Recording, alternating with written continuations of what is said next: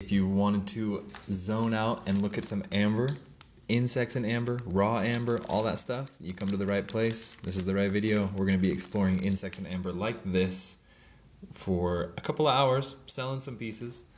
And uh, enjoy the show as people log on the live feed. We're going to be talking into them and stuff. Uh, we're starting off with some Dominican amber. This is a cab, which means it's flat on this side, ready to be put into jewelry, maybe a pendant or a big ring.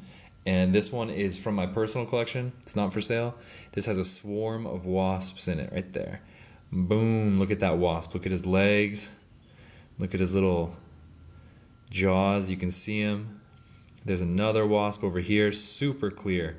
We're gonna look closely. Ooh, you guys see how you can see his eyes?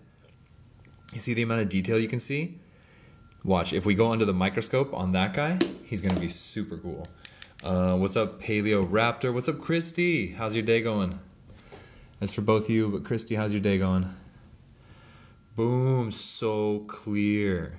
This is Dominican amber wasp under a microscope actually a swarm of wasps. There's their wings, where there's one wasp's wings. Boom, absolutely museum grade clarity, just as clear as it gets. And then next up is this guy. Ooh,